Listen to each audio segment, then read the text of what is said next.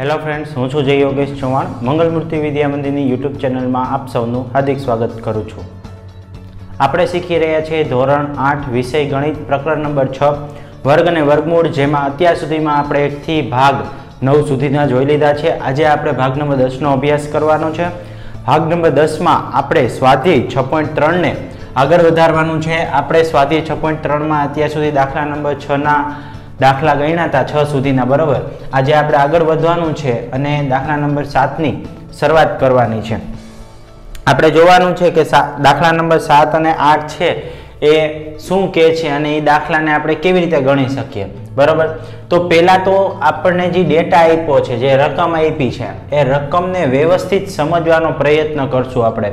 જેથી કરીને આપણને ખબર પડે કે દાખલામાં શું માંગ્યું છે અને કેવી રીતે આપણે આ દાખલો ગણી શકાય. બરોબર? હવે જુઓ, રકમ વાંચું છું. આપણે ધ્યાનથી રકમને પહેલાં સમજવાની છે.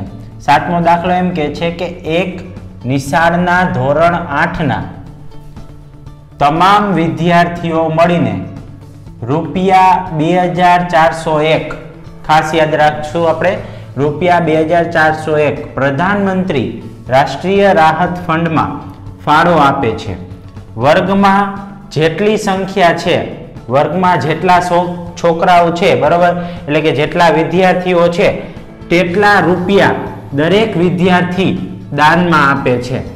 એટલા જ રૂપિયા દરેક વિદ્યાર્થી દાનમાં આપે છે. તો વર્ગમાં વિદ્યાર્થીઓની સંખ્યા કેટલી હશે? આપણે ગોતવાનું છે વિદ્યાર્થીની સંખ્યા. મેં જ્યાં જ્યાં અંડરલાઈન કરીને આપણા માટે બહુ મહત્વના મુદ્દા છે. બરાબર? હવે જો શું કરવાથી જવાબ મળે એ ખાસ સમજવાનું છે. કે વર્ગમાં જેટલી સંખ્યા છે, એટલે માની લ્યો કે ત્રીસ છોકરા હોય, એક વર્ગમાં ત્રીસ વિદ્યાર્થી હોય, તો દરેક વિદ્યાર્થી ત્રીસ ત્રીસ રૂપિયા કાઢે. કેટલા રૂપિયા કાઢે? ત્રીસ ત્રીસ. તો ત્રીસ ગુણ્યા ત્રીસ કરો, એટલે એક વર્ગખંડમાંથી ભેગો થતો ફાળો કેટલા રૂપિયા થઈ ગયો? નવસો રૂપિયા થઈ ગયો. એટલે ત્રીસ ગુણ્યા ત્રીસ, એવો હું શબ્દ બોલ્યો. એટલે ત્રીસ ગુણ્યા ત્રીસ એટલે શું થયું કહેવાય? તો કે ત્રીસ નો વર્ગ.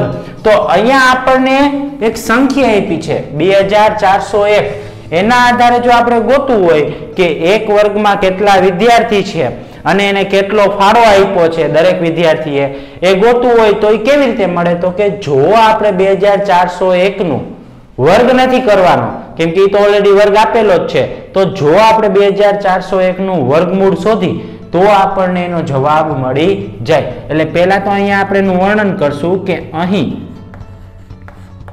અહીં રૂપિયા બે હજાર ચારસો એકનું વર્ગમૂળ શોધતા વર્ગમૂળ શોધતા આપણને આપણને તે વર્ગમાં રહેલ વિદ્યાર્થીઓની સંખ્યા તથા વિદ્યાર્થીઓની સંખ્યા તથા વિદ્યાર્થીએ વિદ્યાર્થીએ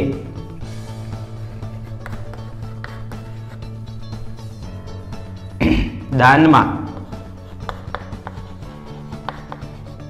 આપેલ.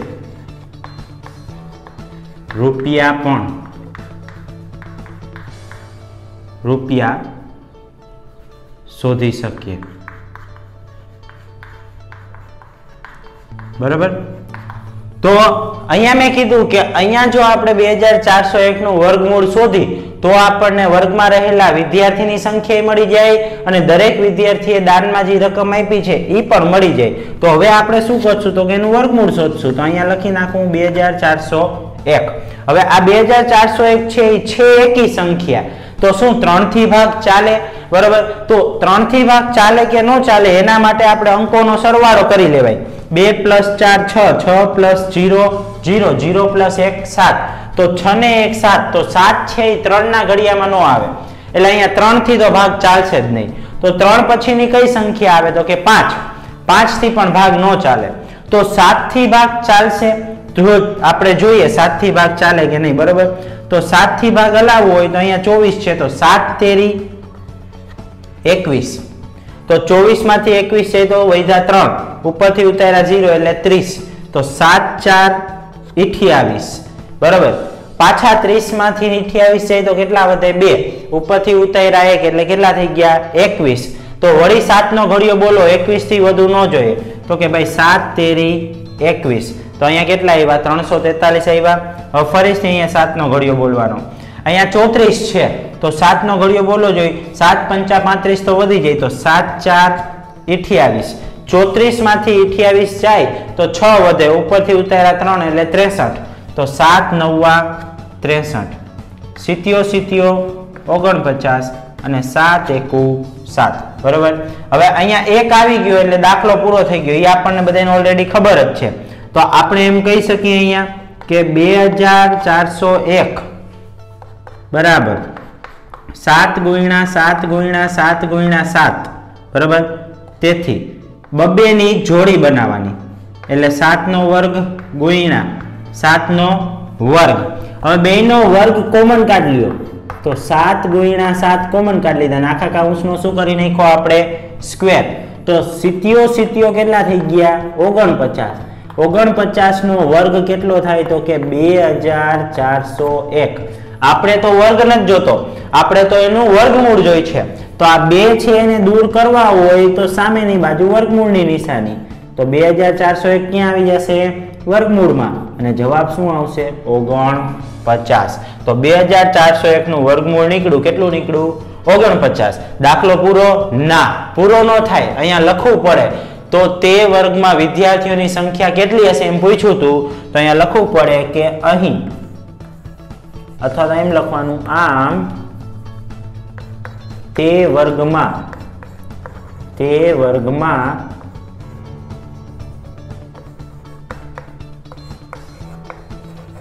વિદ્યાર્થીની સંખ્યા ઓગણપચાસ હશે અને દરેક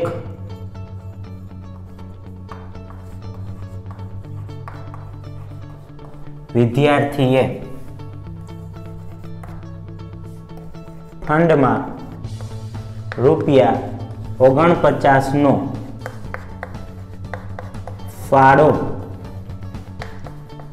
આપ્યો હશે.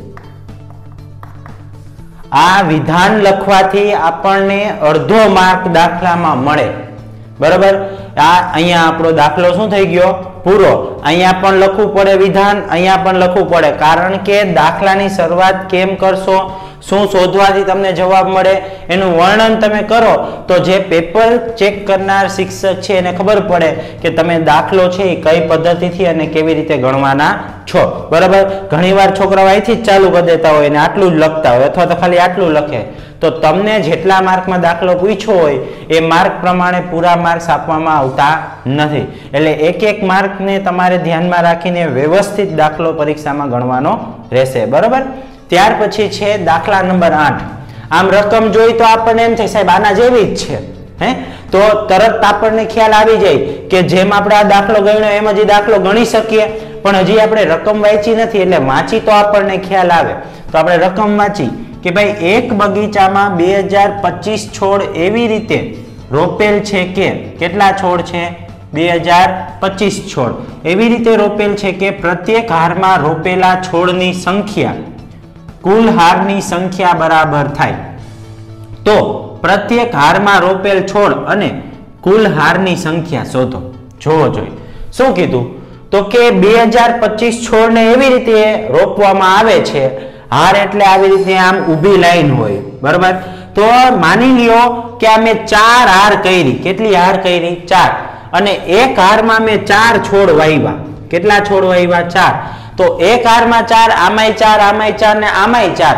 ચારેય હારમાં સરખા છોડ હોય. તો ચોકે ચોકે સોળ, ચોકે ચોકે કેટલા થાય? સોળ. તો અહીંયા કુલ સોળ મને સોળ કુલ જે છોડની સંખ્યા છે, એ મને કેટલી મળે? તો કે સોળ મળે. તો એવી જ રીતે તમને એમ કીધું કે બે હજાર પચીસ છોડને તમારે એવી રીતે રોપવાના છે કે આમ એક હારમાં રોપેલા છોડની સંખ્યા અને આમ હારની સંખ્યા કેવી થવી જોઈએ? સરખી થવી જોઈએ. ઉદાહરણ તરીકે આપણે લીધું કે મેં એક હારમાં ચાર છોડ વાવ્યા છે. એવી રીતે મારી પાસે ચાર હાર છે અને ચારેયમાં છોડની સંખ્યા સરખી જ છે. તો ચાર ગુણ્યા ચાર કરું એટલે મને સોળ મળે. મળે સોળ? તો મેં જો આ ચાર ગુણ્યા ચાર એટલે એનો વર્ગ કર્યો, તો મને અહીંયા છે પૂર્ણ વર્ગ સંખ્યા આપી છે.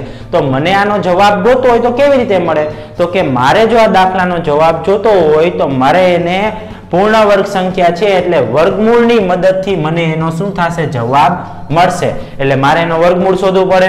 હવે ખબર પડી ગઈ કે જેમ આ દાખલો હતો, સાતમો દાખલો, એમ જ આપણે આઠમો દાખલો કરવાનો છે. બરાબર? હવે આપણે શરૂઆત કરીએ કે અહીં અહીં બે હજાર પચીસ છોડ.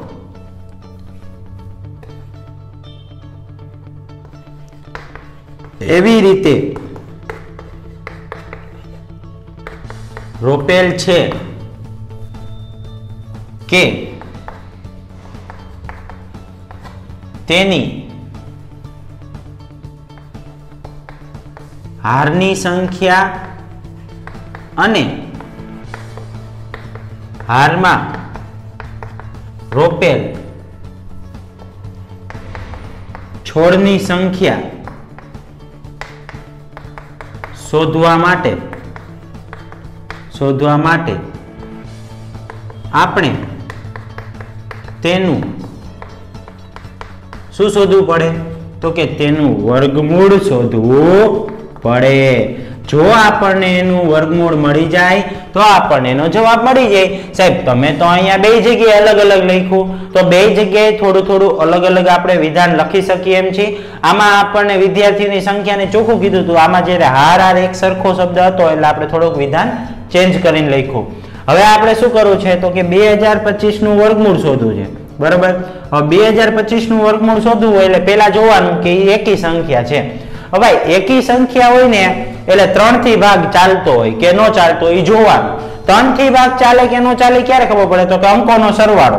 એટલે બે પ્લસ બે ચાર ચાર ને પાંચ નવ. નવ છે એ ત્રણ ના ઘડિયામાં આવે. અને નવ છે ત્રણ વડે વિભાજ્ય છે. એટલે કે બે હજાર પચીસ ને ત્રણ વડે ભાગી શકાય. તો આપણે ત્રણ વડે નો ભાગાકાર કરીએ.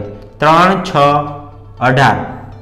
ત્રણ, છ, અઢાર. વીસમાંથી અઢાર જાય તો કેટલા વિધા? બે. ઉપરથી ઉતારા બે એટલે બાવીસ. ત્રણ સત્તા એકવીસ. એક વૈધા ઉપરથી ઉતાર્યા પાંચ એટલે પંદર. ત્રણ પંચા પંદર. રેડી ત્યાર પછી ફરીથી આગળ વધી. તંદુ છ. પાછા તંદુ છ. સાતમાં છ જાય તો એક વૈધા ઉપરથી ઉતાર્યા પાંચ એટલે પંદર. ત્રણ પંચા પંદર. પાછો જોવો જોઈએ, ભાગ હાલે ત્રણથી હા, હાલે. તો હલાવવો જોઈએ. તો કે ભાઈ ત્રણ સત્તા એકવીસ. બાવીસમાંથી એકવીસ છે તો એક, ઉપરથી ઉતારા પાંચ, એટલે પંદર. ત્રણ પંચા પંદર. પાછો ત્રણથી ભાગ જોવો જોઈએ, ત્રણ દુ છ. ત્રણ પંચા પંદર.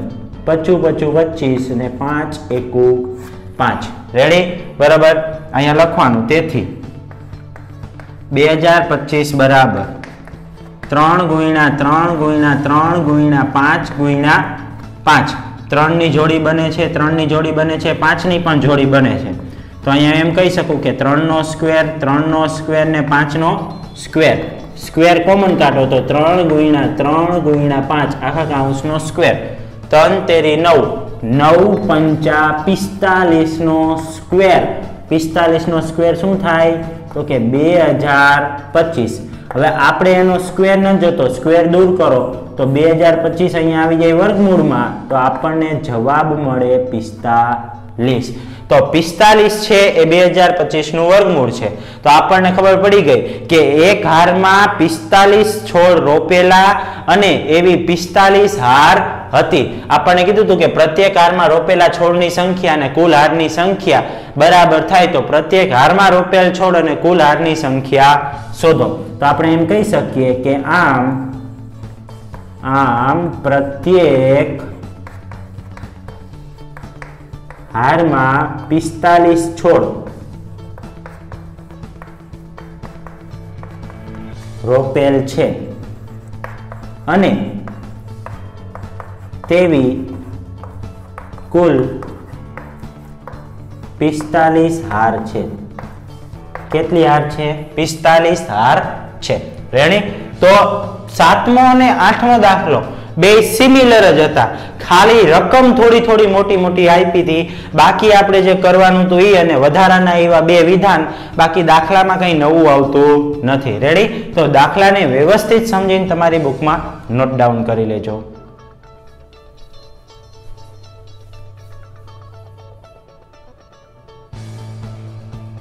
હવે આપણે જોઈએ આગળ, દાખલા નંબર નવ. દાખલા નંબર નવની રકમ જોવો, ચાર, નવ અને દસ વડે નિશેષ ભાગી શકાય તેવી નાનામાં નાની પૂર્ણ વર્ગ સંખ્યા શોધો. એટલે ચાર, નવ અને દસ ત્રણેય સંખ્યા વડે ભાગી શકાતી હોય તેવી નાનામાં નાની પૂર્ણ વર્ગ સંખ્યા શોધવાની છે. હવે આ દાખલો ગણવા માટે સૌ પહેલા તો આપણે બે ભાગ પાડી નાખવાના છે. બરોબર? એટલે બે સોપાન કરી નાખશું. આ આપણે સોપાન નંબર એક કરી નાખશું અને પછી આપણે સોપાન નંબર બે કરી નાખશું. અહીંયા આપણે સોપાન નંબર બે કરશું. બરાબર? હવે આપણે પરીક્ષામાં આમ લખવું જરૂરી છે. જો લખો તો સારું, ન લખો તો કોઈ વાંધો નથી. ડાયરેક્ટ દાખલો ગણો તોય વાંધો નહીં. પણ સમજવો જરૂરી છે. હવે ચાર, નવ અને દસ વડે નિશેષ ભાગી શકાય તેવી નાનામાં નાની પૂર્ણ વર્ગ સંખ્યા શોધવા માટે પહેલા તો આપણે શું કરવું પડે? તો કે સૌ પહેલા તો ચાર, નવ અને દસ વડે. બરાબર? સૌ પ્રથમ સૌ પ્રથમ ચાર, નવ અને દસ વડે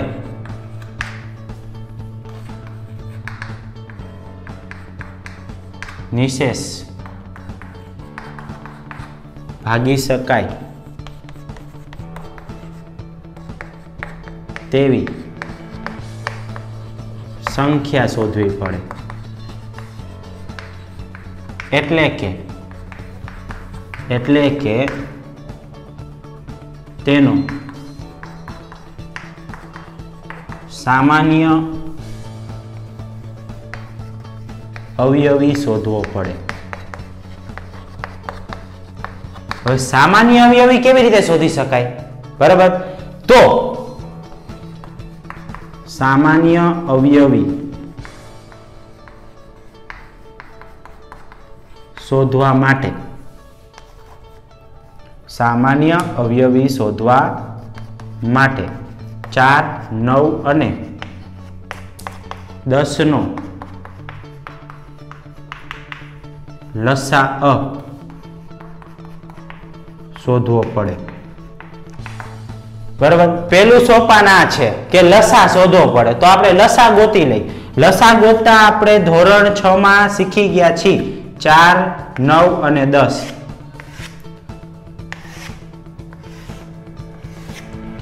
ચાર, નવ અને દસ નો લસા ગોતવો છે. લસા ગોતવા માટે શું કરવાનું? આપણને સ્વાભાવિક છે એવો વિચાર આવે. તો ભૂલી ગયા હોય છઠ્ઠા ધોરણનું આપણે, બરાબર ને? કેમ કે અત્યારે આપણને કઈ યાદ રહેતું નથી બહુ જાજુ. તો જોવાનું કે બેકી સંખ્યા આમાં છે તો કે હા, બે બેકી સંખ્યા છે. બરાબર છે. તો બેથી ભાગ ચલાવો. બે દુ ચાર. તો કે ભાઈ, અહીંયા તો ન હાલે, તો અહીંયા નવ ના નવ એમને. બે પંચા દસ. હવે જો ત્રણેયમાંથી એકે બેકી સંખ્યા છે, તો કે હા છે. કઈ? તો કે બે. તો હજી બે એકા બે થાય, તો કે હા થાય. નવ પાસે કાંઈ નહીં. પાંચ ના પાંચ એમને. હવે અહીંયા છે નવ, અને અહીંયા છે પાંચ, અને અહીંયા છે એક. હવે બે પછી ત્રણ નો વિચાર કરો. ત્રણ વડે ભાગ ચાલે છે, તો કે હા. કેટલા? તો કે ત્રણ તેરી નવ. પાંચ ના પાંચ એમને. પાછો ભાગ આલે જો, ત્રણ એકા ત્રણ, પાંચ ના પાંચ એમને. અને પાંચ એકા પાંચના પાંચ એમને. રેડી બરોબર? તો આપણને ચાર, નવ અને દસ નો લસા મળ્યો. કેટલો મળ્યો? ચાર, નવ અને દસ નો લસા અ. બરોબર? બે ગુણ્યા બે ગુણ્યા ત્રણ ગુણ્યા ત્રણ ગુણ્યા પાંચ. બે ગુણ્યા બે ગુણ્યા ત્રણ ગુણ્યા ત્રણ ગુણ્યા પાંચ. બે દુ ચાર ચાર તેરી બાર બાર પંચા સાઠ છ તેરી અઢાર, એકસો ને એસી. હવે એકસો એસી છે, એ ત્રણેયનો સામાન્ય અવયવી મળી ગયો. તો સોપાન બેમાં શું કરવાનું?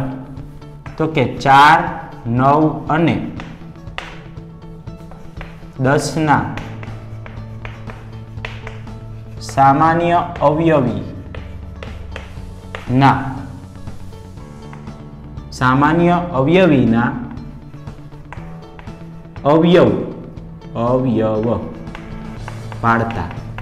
આપણે એના અવયવ પાડવા પડે.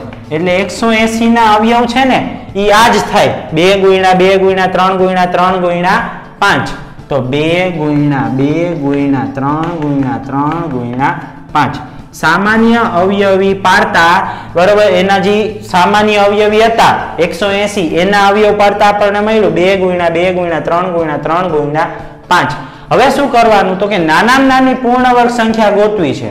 એટલે સોપાન નંબર બે ની અંદર, જો આપણે નાનામાં નાની પૂર્ણ ચાર, નવ અને દસ વડે ભાગી શકાય, તેવી નાનામાં નાની પૂર્ણ વર્ગ સંખ્યા શોધવી હોય, તો એના સામાન્ય અવયવીના દરેક અવયવ છે ને જોડીમાં હોવા જોઈએ.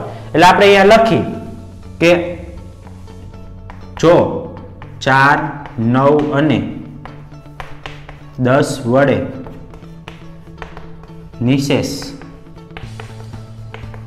ભાગી શકાય ભાગી શકાય તેવી પૂર્ણ વર્ગ સંખ્યા માટે એકસો એંસીના બધા અવયવ જોડમાં હોવા જોઈએ. જોડમાં હોવા જોઈએ. અહીં પાંચ એ જોડમાં નથી. તેથી પાંચની જોડી. પાંચની જોડી બનાવવા માટે. પાંચની જોડી બનાવવા માટે એકસો એંસીનું પાંચ વડે ગુણાકાર કરતા અપેક્ષિત અપેક્ષિત પૂર્ણ વર્ગ સંખ્યા મળે. તેથી પૂર્ણ વર્ગ સંખ્યા બરાબર એકસો એંસી ગુણ્યા પાંચ. અઢાર પંચા નેવું. ઝીરોના ઝીરો એમને. નવસો છે એ પૂર્ણ વર્ગ સંખ્યા છે અને જેને ચાર, નવ અને દસ આ ત્રણે ત્રણ વડે નિશેષ ભાગી શકાય છે અને પૂર્ણ વર્ગ સંખ્યા પણ છે. રેડી તો દાખલાને આપણે અલગ અલગ બે સોપાનમાં જોયો.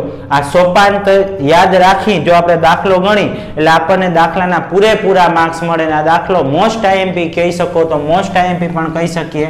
કારણ કે આ દાખલો છે એ તમને બે ત્રણ માર્કમાં એમ ન પૂછે.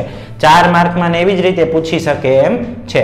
તો વ્યવસ્થિત દાખલાને સમજીને તમારી બુકમાં નોટ ડાઉન કરી લેજો.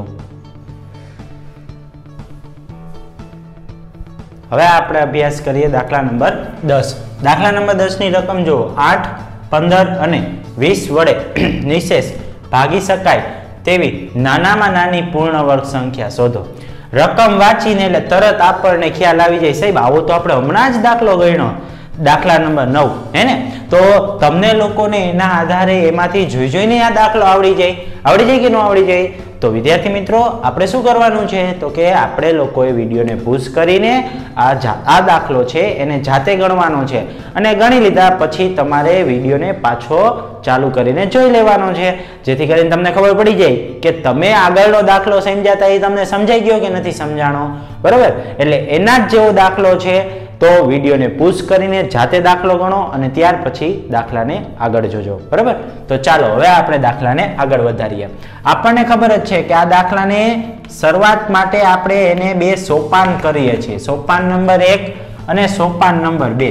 એટલે આપણે એના બે સોપાન પાડી દીધા. હવે દાખલાની અંદર આઠ, પંદર અને વીસ વડે નિશેષ ભાગી શકાય. તેવી નાનામાં નાની પૂર્ણ વર્ગ સંખ્યા શોધવી એટલે સૌ પહેલા તો એનો સામાન્ય અવયવી શોધવો પડે. બરાબર? એટલે આપણે અહીંયા લખશું કે આઠ, પંદર અને વીસ વડે નિશેષ ભાગી શકાય તેવી પૂર્ણ વર્ગ સંખ્યા શોધવા માટે. તેનો નાનામાં નાનો સામાન્ય અવયવી શોધવો પડે. સામાન્ય અવયવી. શોધવા માટે આઠ, પંદર અને વીસનો લસા શોધવો પડે. તો એનો લસા શોધવો પડે એટલે આપણે સૌ પહેલા તો એનો લસા ગોતશું.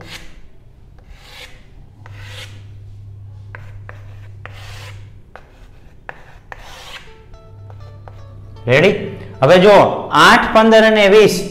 આમાંથી જોવાનું કે કોઈ સંખ્યા બેકી સંખ્યા છે? તો કે હા, છે. કઈ સંખ્યા બેકી સંખ્યા છે? તો કે આઠ અને વીસ. તો બેથી ભાગ ચાલે. બે, ચાર, આઠ. પંદર ના પંદર, એમને. દસ, દુ, વીસ.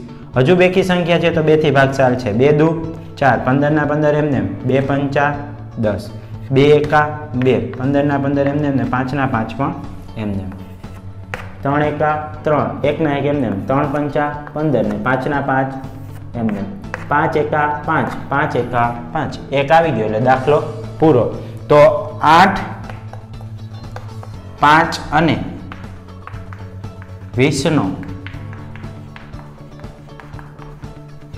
લસા. બરોબર? કેટલો મળે? તો કે બે ગુણ્યા બે ગુણ્યા બે ગુણ્યા ત્રણ ગુણ્યા પાંચ. બે દુ ચાર ચાર દુ આઠ આઠ તેરી ચોવીસ ચોવીસ પંચા, એકસો ને વીસ. રેડી બરાબર? તો આપણને એનો લસા મળ્યો એકસો વીસ. એટલે કે સામાન્ય અવયવી મળ્યો એકસો વીસ. હવે સોપાન નંબર બે. સામાન્ય અવયવી એકસો વીસના અવયવ પાડતા. સામાન્ય અવયવી એકસો વીસના અવયવ પાડો, બરોબર? તો તમને શું મળે? તો કે બે ગુણ્યા બે ગુણ્યા બે ગુણ્યા ત્રણ ગુણ્યા પાંચ. બે જોડીમાં છે. બે, ત્રણ અને પાંચ છે, એની જોડમાં છે નહીં. અહીં એકસો વીસના અવયવમાં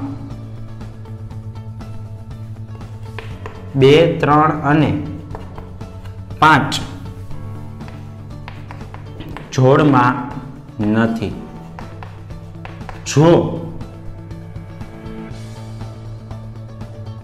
આઠ, પંદર અને વીસ વડે નિશેષ ભાગી શકાય તેવી પૂર્ણ વર્ગ સંખ્યા શોધવી હોય અથવા તો શોધવા માટે તેના અવયવીના અવયવમાં દરેક સંખ્યા જોડમાં હોવી જોઈએ. હોવી જોઈએ. તેથી એકસો વીસ એકસો વીસને બે, ત્રણ અને પાંચ. એટલે કે બે તેરી છ છ પંચા ત્રીસ. એટલે કે ત્રીસ વડે ગુણતા અપેક્ષિત